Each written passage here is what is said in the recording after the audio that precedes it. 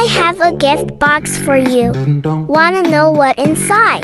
Okay, follow me. Let's count together. One, two, three, open. Wow, what is this? Oh, we have to guess what animals mixing on this picture. Can you help me? Yes! Okay, it's like a wild animals. Can you guess what is this mixing? Great! It's animals mixing from sheep and macaw.